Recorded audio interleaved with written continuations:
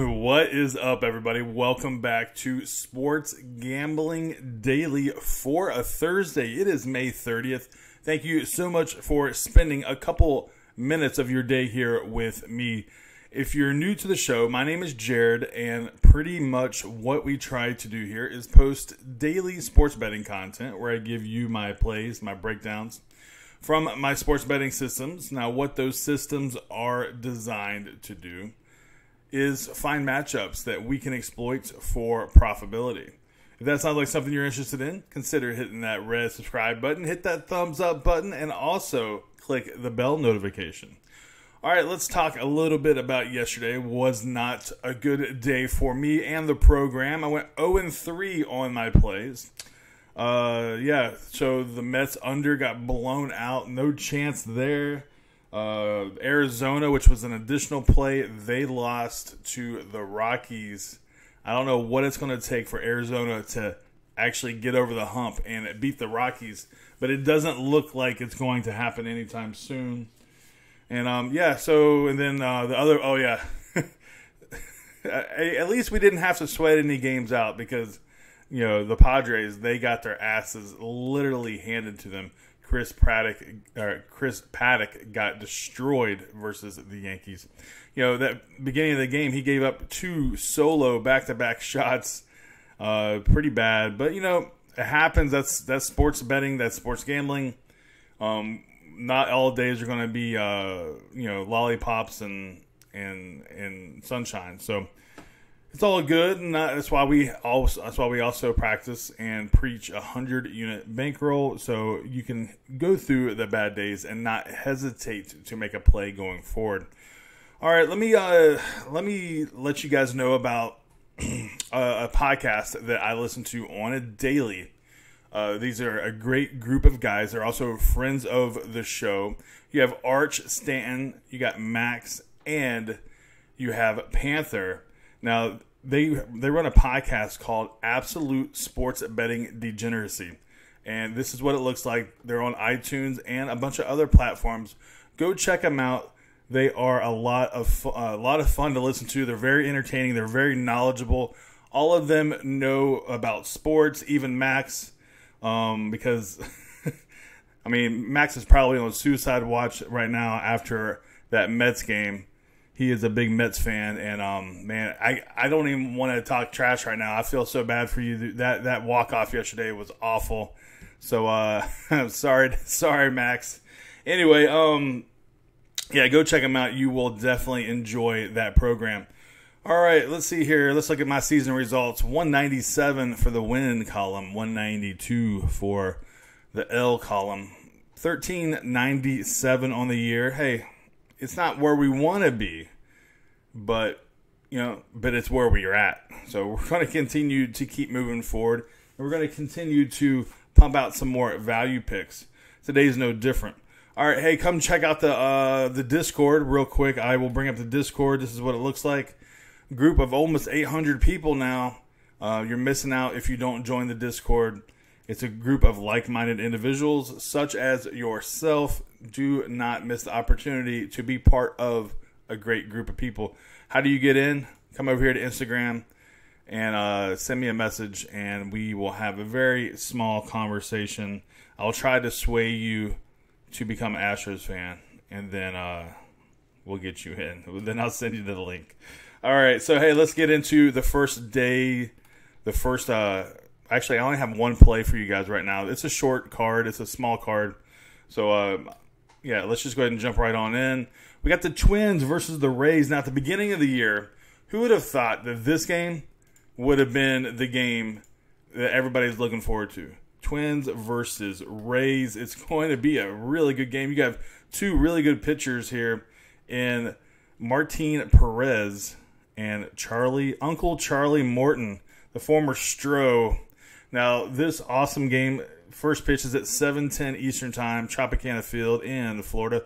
So that probably means about you know, since both of these teams are, you know, really good and this game is being played in Tampa, that means there'll probably be about 5,000 people in the stadium. So uh, there's that.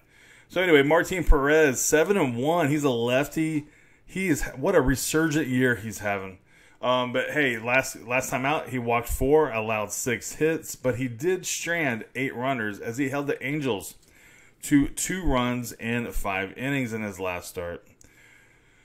Um, yeah, those two runs were solo shots. I remember because I had the over in that game, and that was the game that the Angels. I think that not the Angels. Uh, well, the Angels ended up scoring seven in that game. The Twins, I think, scored like eighteen. It was insane. Over like covered after like the fourth inning. Anyway, he uh, make sure I got this right. Yep. So he has completed five innings in each of his last eight starts, allowing three or fewer runs in all games except for one. Now, Uncle Charlie Morton, he holds an impressive 2.54 ERA this season. Morton is looking to continue to cut down his walks against Minnesota. Now, uh, Charlie Morton, he's allowed two or more walks in his past uh, in his past nine of his 11 starts this year. So, and I think that's really where this game's going to boil down to is if because both these teams are good. If they can work the work the the walks and you know then obviously follow that with hits, you're going to be looking at an over. I think what happens here is the general public looks at these two pitchers. You look at seven and one versus five and zero. You look at sub e uh, sub sub three ERAs, and you look at the strikeout totals, and you're thinking, well, shit, it has to be uh, has to be a low scoring game. You got two good teams. But typically, in my experience, the quite the opposite happens is because both these teams have elite hitters. Uh, they they end up getting to the bullpen sooner than you would think because these, these pitch counts are going to skyrocket.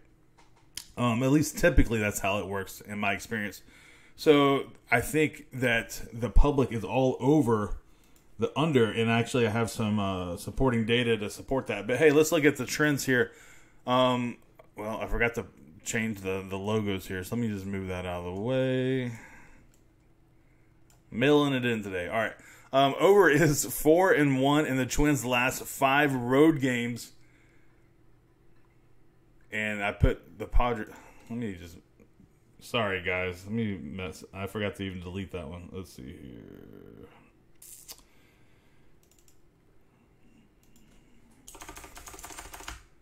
Sorry. Obviously, the Padres and Paddock is not playing today. We don't need to be remembered, uh, reminded of that. All right, now we're back, and next time I guess I'll have to proofread. All right, over is four and one in the Twins' last five road games. Over is five and one in the Tampa Bay Rays' last six home games versus a team with a road winning percentage of greater than 600 and the over is 14 and 2 in the last 16 meetings at Tropicana Field. So, I like the over here. Twins versus Tampa Bay. The line opened up at eight, or at least was currently at eight, just a little, or eight and a half a little bit ago, and has been bet down to eight. Now, this game doesn't. Uh, the first pitch isn't until 7:40, I think it was Eastern time. So we have some time to even look at this some more. I can totally see the public jumping on the under here. So just keep your eye on it. If anything, you might be able to get a little bit better juice than minus 110. If we're really lucky, it'll go down to seven and a half, but you're going to have to pay some major juice for that. So I would think if I could find this line at minus 105, I think I would go ahead and jump on that. Um, I know some of you guys like to live bet. So this is another situation where you know you might just wait and you know w- watch this game. Maybe there there won't be any runs in the first the first inning, and that line drops. You know, pound that over. I really feel like this one's going over. Over eight is the total, and that is where I'm at now. I do have some leans. I'll go ahead and tell you the leans. Um, I really like Arizona today, but I don't want to go against that Rockies winning streak. Um, but I do have a feeling Arizona is not going to get swept. But I don't, I don't have a good enough feeling to where I'm going to bet it. So take that for what it's worth. I also lean Minnesota to win that game versus Tampa Bay, but um, not a strong lean. It's just a. It, I see some. if Uh, I see some things going that way. I also lean uh, the White Sox over Cleveland. The White Sox are uh, on a three game winning streak. You got uh, Carrasco. He hasn't been pitching as well. Now Carrasco did uh, has pitched against the White Sox twice this year and hasn't given up a run. So there's that. But the White Sox bats are are pretty uh, pretty hot right now. And um, yeah, I also so this whole thing with the Mets Dodgers it's so it's so hard. The Mets have actually played the Dodgers fairly well, except for that first game where it was Degrom versus Kershaw. Um, you know, obviously they won uh, the game where Matz pitched, and then they should have won yesterday, but they didn't. So I mean, coulda, shoulda, woulda, right? However, uh, the Met, what I'm trying to say is the Mets are they're playing one of the best teams in baseball, if not the best team in the National League, like toe to toe almost all the time. And they're getting so much value on the money line that it's hard to pass up that value. So that might be a play for me later. I know that's a late game. Um, so let's see. Yeah, and I think that's it. I don't see much value in uh, the Boston Yankees series. Even J.A. Happ, it's hard for me to put any money with that guy. And then um, Philly versus St. Louis, I probably would lean Philly there. Um, yeah, but that's pretty much it. I don't think I got any other leans. So, hey, I hope you guys have a wonderful day. Come join the Discord. Um, let's see here. Oh, and if I have any additional plays, I'll post them in the YouTube comments down below, or I'll also post them in the Discord. If you have any questions for me, obviously leave me a comment, or you can come find me on the Discord. And also let me know who you are betting today. I am definitely interested. And good luck to you. Good luck to me. Good luck to all of us. And I'll see you guys tomorrow on a Friday's sports gambling edition show. Peace.